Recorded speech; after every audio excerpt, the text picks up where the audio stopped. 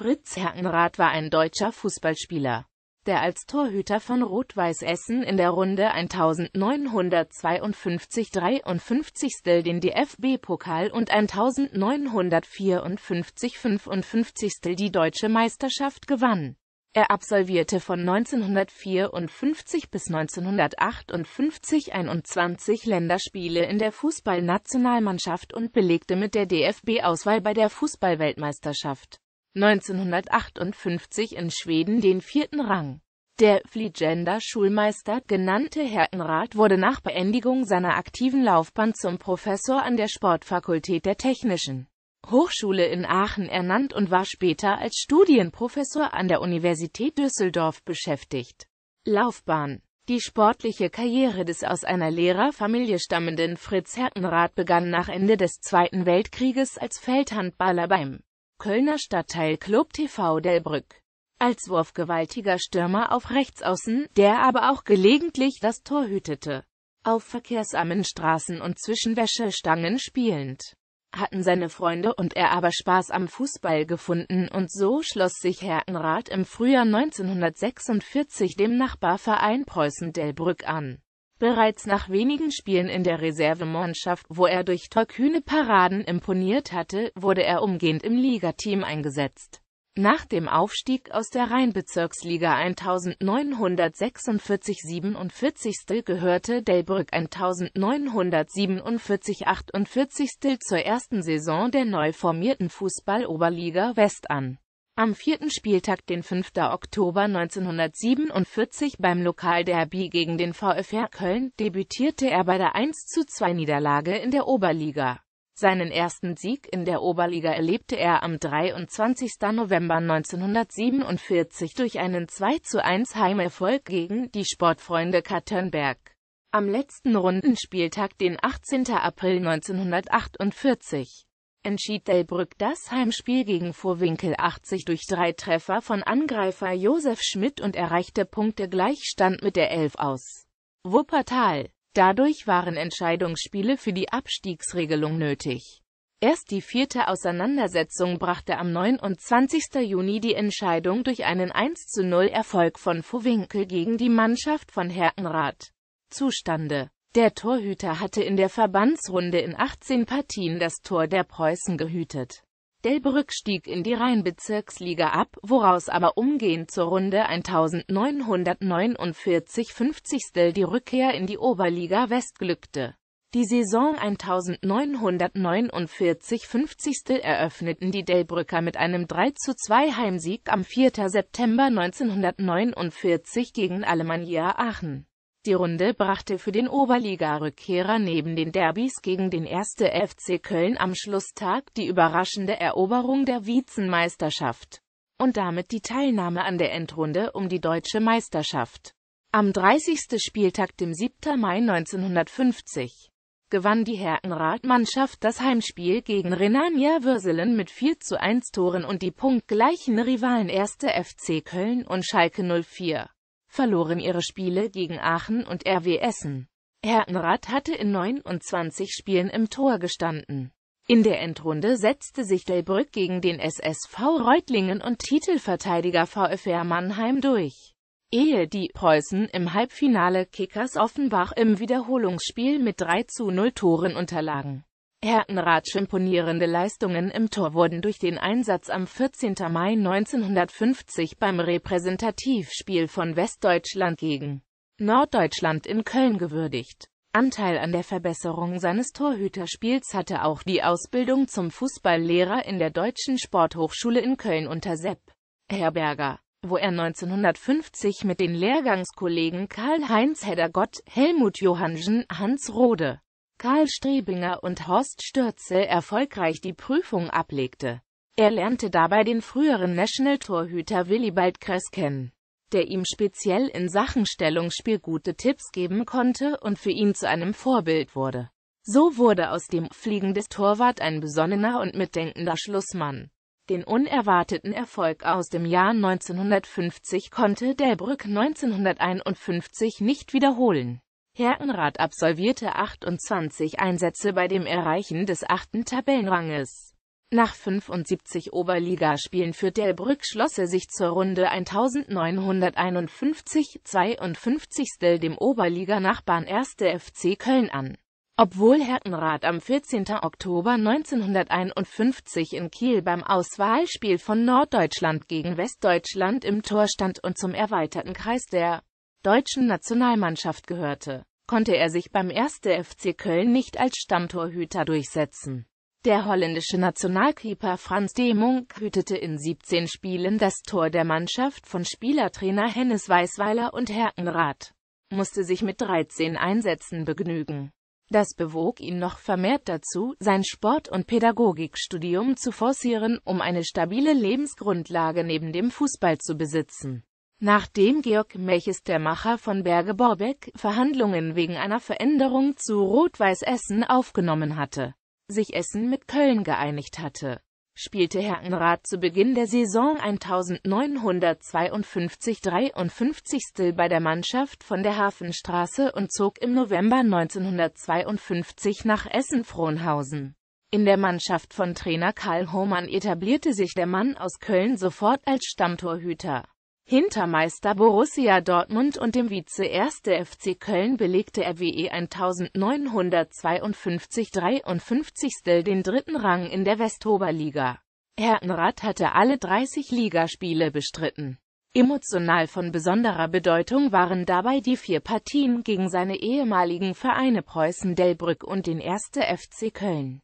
In dem erstmals nach dem Zweiten Weltkrieg ausgetragenen Wettbewerb des DFB-Pokals zog Hertenrath mit seinen Mannschaftskameraden nach Erfolgen gegen Jan Regensburg, VfL Osnabrück, Hamburger SV und im Halbfinale gegen den SV Waldhof Mannheim in das Finale am 1. Mai 1953 in Düsseldorf gegen den Westoberligisten Alemannia Aachen ein. Nach Toren von Franz Hieslacker und Helmut Rahn gewann die Mannschaft von Kapitän August Gottschalk mit 2 zu 1 Toren den DFB-Pokal 1953. Im Jahr der Fußball-Weltmeisterschaft 1954 in der Schweiz kam Rot-Weiß mit einem Punkt Rückstand zum Titelträger 1. FC Köln und einem Punkt Vorsprung vor dem FC Schalke 04 auf den zweiten Rang. Wiederum hatte der Torhüter alle 30 Pflichtspiele bestritten. Ab dem 23. April 1954 gehörte er der Reisegesellschaft von RWE an, die eine neunwöchige Süd- und Nordamerika-Reise unternahm. Die internationalen Kontakte des Ehrenvorsitzenden Georg Meches in seiner beruflichen Funktion als Direktor der Didiakogak Hinselmann AG machten dieses herausragende Unternehmen erst möglich.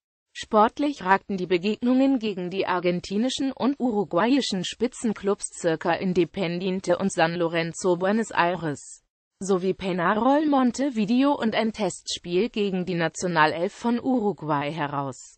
Herrenrath erhielt von allen Seiten Bestnoten und auch wie die Sturmkollegen Islaka und Rahn lukrative Angebote für einen Wechsel an den Rio de la Plata. Daneben standen gesellschaftliche und politische Empfänge auf dem Programm wobei der Besuch beim amtierenden argentinischen Staatspräsidenten Juan Perón einen besonderen Stellenwert einnahm. Den Abschluss der Amerikareise bildete ein zweiwöchiger USA-Aufenthalt, wo insbesondere in New York zahllose Empfänge durch deutschstämmige Sportverbände den äußeren Rahmen bildeten. Die Technik, der Verkehr, die Autos, das pulsierende Leben in den Metropolen. Das alles wurde zu unvergesslichen Eindrücken für die jungen Sportler aus dem Revier. Insbesondere auch für den mit offenen Augen und Ohren die Reiseerlebenden Pädagogen im Tor der Essener. Das Erleben der anderen Welt in Süd- und Nordamerika entschädigte Herrenrath für den damit zusammenhängenden Verzicht, als Ersatztorhüter an der Fußballweltmeisterschaft in der Schweiz teilzunehmen. Im Jahr nach der Fußballweltmeisterschaft 1954 1954 55. gewannen Herrenrath und Kollegen unter der sportlichen Anleitung von Trainer Fritz Zeppan mit sechs Punkten Vorsprung vor dem SV Sodingen die Meisterschaft im Westen. Der reaktionsschnelle, fangsichere wagemutige und sich mit spektakulären Paraden auszeichnende Torhüter ließ als Rückhalt der von Mittelläufer Heinz Wevers angeführten Defensive nur 38 Gegentreffer zu. Kurz nach seinem 26. Geburtstag debütierte Herkenrath am 26. September 1954 beim Länderspiel in Brüssel gegen Belgien in der deutschen Fußballnationalmannschaft. In der Endrunde um die deutsche Fußballmeisterschaft 1955 setzte sich die Melches-Mannschaft gegen TuS Bremerhaven Wormatia Worms und Kickers Offenbach ungeschlagen in den Gruppenspielen durch und zog in das Finale am 26. Juni 1955 in Hannover gegen die Walter Elf aus Kaiserslautern ein. Die mit fünf Weltmeistern der WM-Tage aus der Schweiz antretenden Pfälzer gingen als Favorit in das Endspiel. Mit seinem Treffer in der 85. Minute zum 4:3 Endstand entschied Franz Sieslacker das Finale aber für die Mannschaft aus der Grugerstadt. Der Klasse-Keeper konnte sich über seinen größten sportlichen Erfolg jedoch nicht so recht freuen. Hatte er doch in der 11. Minute das 0:1 verschuldet, als er einen harmlosen Flankenball nicht festhalten konnte. Nur wenige Minuten später verletzte er sich bei einer Parade und konnte das Spiel deshalb nur unter Schmerzen durchstehen. Die Erfolge aus den Jahren 1953, 1954 und 1955 konnten die Rot-Weißen aus Berge-Borbeck nicht konservieren. Die prägende Spielerpersönlichkeit August Gottschalk beendete nach dem deutschen Meisterschaftserfolg 1955 seine Laufbahn und der torgefährliche linke Flügelstürmer Bernhard Termat nahm ein Angebot des Karlsruher SC aus der Fußball-Oberliga Süd an und wechselte nach Nordbaden. Als dann auch noch der individuell unersetzliche Reißer mit Abschlussqualitäten am rechten Flügel, Helmut Rahn, zur Runde 1959 Sechzigstel die Mannschaft von der Hafenstraße Richtung Köln verließ, war der sportliche Rückschritt nicht mehr aufzuhalten. Georg Meches erkrankte tragischerweise in dieser Phase am Herzen und wurde pensioniert. Seine jahrzehntelange Unterstützung für seinen Verein war damit deutlich eingeschränkt. Der Abstieg von RWE verlief parallel zum wirtschaftlichen Niedergang des Reviers im Zeichen der Kohlekrise. In der Runde 1960 61. belegte RWE mit einem Punktrückstand zum SV Sodingen den 15. Tabellenplatz und musste dadurch in die zweite Liga West absteigen. Am 30. Spieltag, den 13. Mai 1961 verabschiedete sich Herkenrath mit dem 0:0 Remis bei Rot-Weiß Oberhausen aus der Oberliga West. Er hatte nochmals 26 Spiele für die Mannschaft von Trainer Willi Multaub absolviert und ging für ein Jahr den Weg mit in die Zweitklassigkeit. Herkenrath sah im Rückblick die Meisterschaft 1955 als einen tiefen Einschnitt an. Das Familiäre im Verein sei zunehmend dem Mammon geopfert worden. Von 1952 bis 1961 hatte der fliegende Schulmeister 248 Oberligaspiele für RWE absolviert, insgesamt ab 1947 bis 336 Ligaspiele.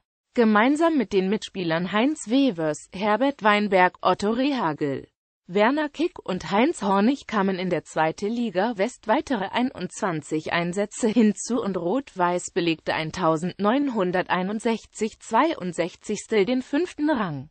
Im Sommer 1962 beendete Herkenrath nach 16 Jahren Leistungsfußball und einer parallel einhergehenden beruflichen Laufbahn im Schuldienst seine eindrucksvolle fußballerische Karriere. Erfolge Vizenmeisterschaft in der Oberliga West 1949 50. Preußen-Delbrück DFB-Pokalsieger 1953 Rot-Weiß Essen. Vizemeister in der Oberliga West 1954 Rot-Weiß Essen. Deutscher Meister 1955 und Meister in der Oberliga West Rot-Weiß Essen.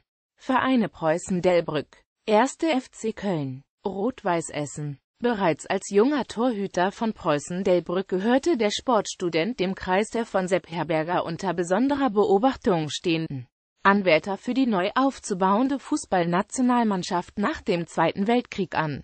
In diversen Repräsentativspielen für Westdeutschland, verschiedenen Auswahllehrgängen des Bundestrainers. Beim inoffiziellen Länderspiel am 4. April 1951 in Essen gegen das Saarland als Ersatzmann in mehreren Länderspielen, darunter auch die zwei WM-Qualifikationsspiele gegen das Saarland sowie gegen Norwegen in Hamburg. gehörte Herkenrath bereits seit 1948 dem Kreis der Nationalelf vor der Weltmeisterschaft 1954 in der Schweiz an. Er wurde auch im 40er-Aufgebot des DFB an die FIFA neben den Konkurrenten Toni Turek, Heinrich Kwiatkowski, Heinz Kupsch und Gerhard Geisler gemeldet. Da aber sein Verein Rot-Weiß Essen ab dem 23. April 1954 eine neunwöchige Süd- und Nordamerika-Reise mit mehreren Spielen durchführte, konnte er nicht am Abschlusslehrgang der Nationalmannschaft in München-Grünwald ab dem 24. Mai teilnehmen beim ersten Länderspiel nach den WM-Tagen in der Schweiz am 26. September 1954. In Brüssel gegen Belgien debütierte der RWE-Keeper dann endlich in der Nationalmannschaft. Bei der 0:2-Niederlage des neuen Weltmeisters bildeten Herbert Erhardt und Werner Kohlmeier das Verteidigerpaar vor dem gut haltenden Debütanten. Seine Bilanz in den nächsten zwei Jahren weist zwar nur die zwei Erfolge am 19. Dezember 1954 in Lissabon gegen Portugal und am 16. November 1955 in Karlsruhe gegen Norwegen auf, sagt aber nichts über die dabei gezeigte Klasse des Torhüters aus Essen aus. Herkenrath war nicht für die negative Serie nach den WM-Tagen verantwortlich durch sein intelligent sachlich geprägtes Spiel, seine Reflexe, sein Mut bei Zweikampfsituationen, durch das routinierte Stellungsspiel und durch seine Persönlichkeit war er ein würdiger Nachfolger von Toni Tureck und die Torhüterposition war in den Jahren der Krise eine der wenigen Konstanten der instabilen Mannschaft. Die WM-Helden konnten ihre Form der Turniertage nicht konservieren, sei es durch Krankheits- wie auch Verletzungsausfälle bedingt insbesondere aber durch die leistungsschädlichen Einflüsse der Probleme des Alltags als Weltmeister. Dazu kam die international nicht konkurrenzfähige Ligasituation im deutschen Spitzenfußball mit den weiterhin regionalen Fußball-Oberligen, die keine leistungssportliche Ausgangsposition mit ihrem in der Regel zwei- bis dreimaligem Training in der Woche für die Nationalmannschaft darstellten als in der unmittelbaren Vorbereitungsphase vor der Weltmeisterschaft 1958 ab 1957 die Herberger Elf wieder mit positiven Ergebnissen aufwarten konnte, feierte Herkenrath mit der Nationalmannschaft Erfolge gegen Österreich, Ungarn, Belgien und Spanien. Beim WM-Turnier selbst überzeugte er in den Gruppenspielen gegen Argentinien, Tschechoslowakei und Nordirland im defensiv geführten Viertelfinale gegen Jugoslawien und auch im Halbfinale gegen das Gastgeberland Schweden. Herkenrath war der Rückhalt der guten deutschen Defensive in den WM-Tagen in Schweden 1958. Mit seinem 21. Länderspiel am 24. September 1958 in Kopenhagen gegen Dänemark endete die internationale Karriere von Fritz Herkenrath. Herkenrath war an der Grundschule auf der Essener Margaretenhöhe von 1956 bis 1961 Sportlehrer, wurde 1962 nach seiner RWE-Zeit zum Professor in der Sportfakultät der Technischen Hochschule Aachen ernannt und arbeitete zum Schluss bis zu seiner Pensionierung 1990 als Studienprofessor an der Universität Düsseldorf